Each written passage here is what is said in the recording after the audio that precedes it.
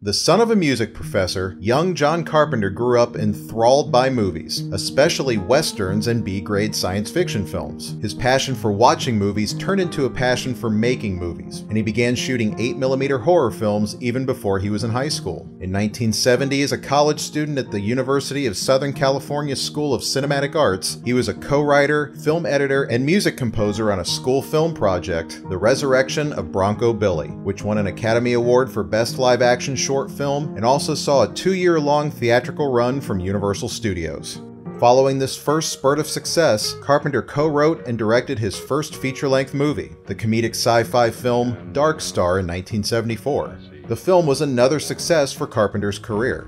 His popularity grew out of his ability to make visually creative movies with extremely low budgets. He went on to write, direct, edit, and compose the musical score for Assault on Precinct 13 in 1976. This was his first collaboration with producer Deborah Hill, who went on to produce several more of Carpenter's movies, amongst many other films, all the way up until her untimely death at age 54 from cancer in 2005. John Carpenter appeared to have a knack for tackling the major creative duties of filmmaking. He put his talent for multitasking into good and lucrative use for probably his most famous and influential film to date, the 1978 independent horror classic, Halloween.